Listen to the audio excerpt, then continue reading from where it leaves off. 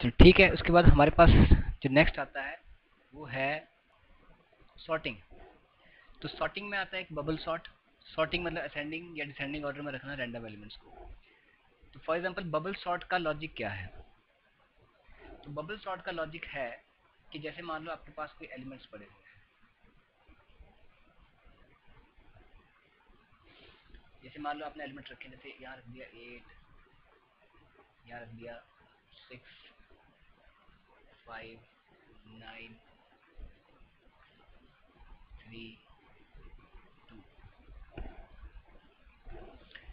तो bubble sort में सबसे पहले आप क्या करेंगे? फ़र्स्ट टू एलिमेंट्स को आपस में कंपेयर करेंगे। तो अगर हमें असेंडिंग ऑर्डर में करना है तो छोटा एलिमेंट जो आ जाएगा, वो इस साइड आ जाएगा और बड़ा एलिमेंट राइट साइड चला जाएगा। तो इन दोनों में अगर ये सिक्स यहाँ पे आना है तो एट यहाँ पे तो दोनों में स्वैपिंग होगी स्वैपिंग का मतलब सिक्स यहाँ एट यहाँ। तो six will here will be here and eight will be here five nine three two वैसे रहेंगे फिर उसके बाद एट और फाइव का कंपेरिजन होगा तो सिक्स यहाँ पे आ जाएगा एट यहाँ पे आ जाएगा, और फाइव फाइव यहाँ पे आ जाएगा एट यहाँ पे आ जाएगा नाइन थ्री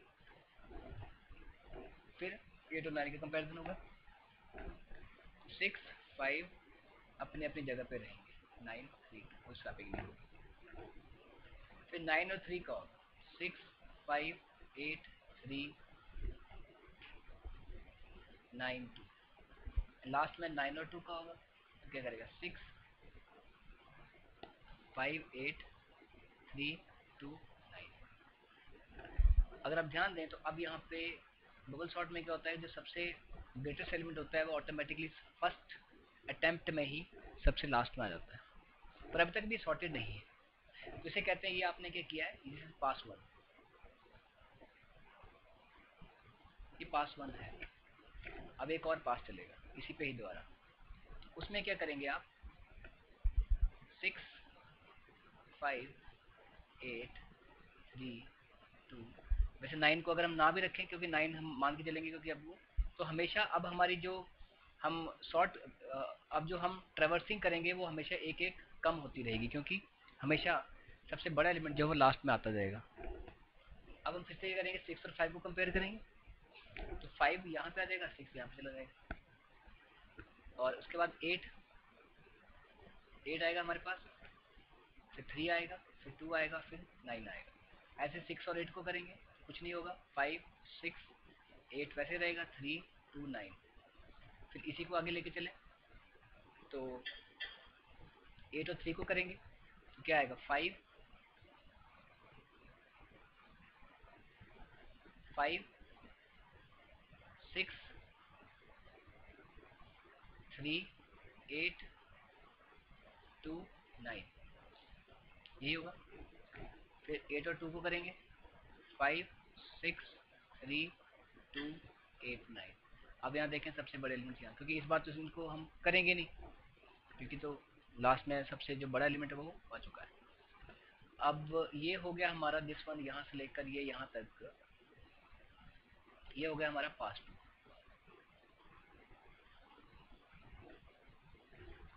उसके बाद नेक्स्ट हमारे पास आएगा पास थ्री जैसे five six three two eight nine उठाए हमने और अब फिर स्टार्टिंग से करेगा वो तो फाइव सिक्स को करेगा, कुछ नहीं होगा. फिर five six three two eight nine ऐसे आ जाएँगे. सिक्स और थ्री को करेगा तो five three six two eight nine फिर सिक्स और टू को करेगा five, three, two, six. Six, eight, nine. अब ये हो गया। अब इसको हमें, क्योंकि एक एक कम होता जा रहा है, हमारी आइट्रेशन एक एक कम होती है इस बार यहाँ नहीं करेंगे तो ये हो गया हमारा। यहाँ से लेकर यहाँ तक, ये हो गया हमारा पास थ्री पास थ्री उसके बाद फिर इसको उठाएँगे। Five three two six eight nine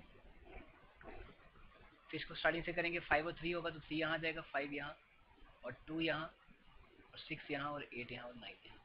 फिर फाइव और टू को करेगा तो थ्री यहाँ टू यहाँ फाइव सिक्स एट नाइन अब इनको तो करेंगे नहीं। तो एक हमारा पास फोर ये लास्ट में इनको उठाएँगे क्या है? Three two five six eight nine इसको इसको करेंगे। Two three five six eight nine इनको तो करेंगे नहीं बाकियों को। तो ये हमारा पास फाइव तो आप यहाँ पे देखें, इस तरह से आपका एलिमेंट ये सॉर्ट हो चुका है। अब ये तो हो गया एक लॉजिक इसका। तो नेक्स्ट हम देखेंगे कि इसको हम, इसका प्रोग्राम कैसे होता है। ठीक है ना? ठीक है। तो अब नेक्स्ट हम चलते हैं इसका प्रोग्राम प्रोग्राम में क्या करेंगे आप यहाँ पे? जैसे आप एलिमेंट्स आपके पास होंगे। तो जैसे आपने सॉर्टिंग करना है तो इसमें आपको लगेगी नेस्टेड फॉर लूप सो जैसे मान लो हमने लिया आप यहाँ पे हैश इंक्लूड iostream.h यहाँ पे लिया void main और यहाँ पे लिया int arr of मैंने फाइव एलिमेंट्स ले लिए मैंने। Is equal to assign direct क्या कर दिया? इनिशियलाइज कर दिया। तो यहाँ पे ले लिया एलिमेंट से एट ले लिया सिक्स ले लिया फाइव ले लिया टू ले लिया थ्री ले लिया, ये एलिमेंट्स ले लिया इनको आपने सॉर्टिंग ऑर्डर में रखना है। Two three five six eight so ये एक तो ये हो गया, उसके बाद आप एक लूप लगाने के लिए एक वेरिएबल लेंगे, और यहाँ पे नेस्टेड फॉर लूप लगेगी, एक लूप के अंदर दूसरी फॉर लूप क्योंकि आपने देखा वहाँ पे एक था आइट्रेशन करने वाला और एक था पासिस को चलाने वाला, है ना? तो एक हो गया आई और एक हो गया जे एक हो गया हमारा साइज़ एन ठीक है? अभी मैं सेमी नहीं लगा रहा हूँ, हो सकता है कल को किसी और चीज़ की नीड आए तो मैं बाद में इसको सेमीकोलन लगा दूँगा। और यहाँ पे क्या किया मैंने, अब for I is equal to zero I less than N and I plus plus for J is equal to zero अब मुझे हमेशा यहाँ पे एक लॉजिक लगाना पड़ेगा, क्योंकि मुझे हमेशा एक आइट्रेशन हमेशा कम करते रहना पड़ेगा, क्योंकि हमें पता है कि सबसे लास्ट में सबसे बड़ा एलिमेंट आ जाता है। तो हम करेंगे, नहीं तो वो हम फालतू का ही उसको चलाते रहेंगे। तो I J is equal to zero यहाँ पे करेंगे J is less than okay J is less than N minus I minus one हाँ अभी हम ट्राई करेंगे इसको, ठीक है? और उसके बाद यहाँ पे कर दिया जे प्लस प्लस फिर यहाँ पे हमने किया if A R R of J is greater than A R R of J plus one तो स्वैपिंग होगी तो स्वैपिंग करने के लिए एक टेम्प वेरिएबल चाहिए। तो हम यहाँ पे लेंगे temp is equal to A R R of J लिखेंगे A R R of J is equal to A R R of J plus one फिर लिखेंगे A R R of J plus one is equal to ten ये कर दिया। और ये if बंद किया, और ये लूप बंद की फॉर लूप जे वाली, और ये आई वाली फॉर लूप भी बंद कर दी। अब इसके बाद हम क्या करेंगे? जैसे हमने ये लिखा हुआ सारा तो how we can do that हमारे पास ये एलिमेंट्स पड़े हुए हैं, जैसे एट है सिक्स है फाइव है टू है और थ्री है। These are in zero one two three four इसके इंडेक्स नंबर तो सबसे पहले हम लेके चलें कि आई आई की वैल्यू कितनी है? Zero and zero and J की वैल्यू मतलब ज़ीरो लेस देन एन तो एन हमारा कितना है? One two three four five so N is five here so I is equal to zero I less than five five to नीचे आया। जे की value कितनी कर दी? ज़ीरो अब वो कह रहे हैं zero is less than N minus I minus one N minus I तो एन कितना मेरा? फाइव तो five minus zero minus one हाँ तो five minus zero minus one तो five minus one is four तो ये चलेगा सिर्फ़ जे लेस देन फोर तक। तो चलेगा भी कहाँ तक? थ्री तक। क्योंकि हम ये तो करेंगे बट ये ये आगे नहीं करेंगे। ये तो आगे है नहीं ना। अब हम क्या करेंगे? वही same cheese if A R of J अब ए आर ऑफ़ जे मतलब ए आर ऑफ़ ज़ीरो क्योंकि जे में कितना पड़ा? ज़ीरो तो ए आर आर कौन सा ये वाला। अरे तो ए आर ऑफ़ ज़ीरो पे क्या पड़ा? है एट वो कह रहा है कि इफ़ अगर eight is greater than A R of J plus one J में इंक्रीमेंट नहीं हुआ सिर्फ़ वो वहाँ पे उसकी पोजीशन उठा रहा है। जे प्लस वन तो जे प्लस वन मतलब zero plus one zero plus one पे क्या पड़ा है? सिक्स पड़ा है। तो eight is if eight is greater than six वो तो है ही है। ट्रू हो गया, अंदर आ गया। तो उसने स्वैपिंग कर दी। स्वैपिंग कर दी मतलब टेम्प में क्या डाल दिया? ए आर ऑफ़ जे तो ए आर ऑफ़ जे पे मतलब ए आर ऑफ़ ज़ीरो पे कितना पड़ा एट तो टेम्प वेरिएबल में क्या डाल दिया उसने? ए डाल दिया। और ठीक है। और क्या किया? फिर ए आर ऑफ़ जे जो लोकेशन थी उसमें क्या डाल दिया? A R of J plus one A R of J plus one मतलब सिक्स वो डाल दिया ए आर ऑफ़ ज़ीरो पे। तो वन वाली वैल्यू कहाँ डाल दी? ज़ीरो लोकेशन पे। तो सिक्स कहाँ डाल दिया उसने? इस जगह पे। तो मतलब बना क्या बेसिकली सिक्स अभी यहाँ पे तो सिक्स ही है फ़िलहाल।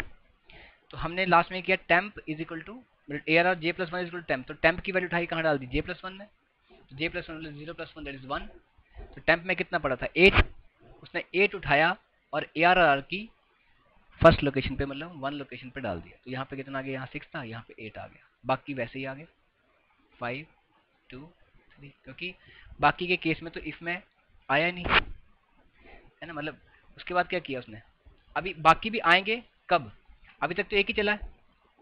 उसके बाद क्या करेगा? जे प्लस प्लस करेगा। जे की वैल्यू कितनी हो जाएगी? वन हो जाएगी। तो वन लेस देन आई मतलब क्या करेगा? One less than N minus one minus I minus one तो वही रहेगा। तो क्या करेगा अगली बार? अगली बार इसको कंपेयर करेगा। अगले वाले को। तो six eight five two three है ना? अब अगली बार कंपेयर करेगा इसको इसको। तो बस ऐसे ऐसे चलता रहेगा। और मान लो, अब अगली बार आया। जैसे यहाँ लो, यहाँ पे मान लो ये लास्ट तक पहुँच चुका है।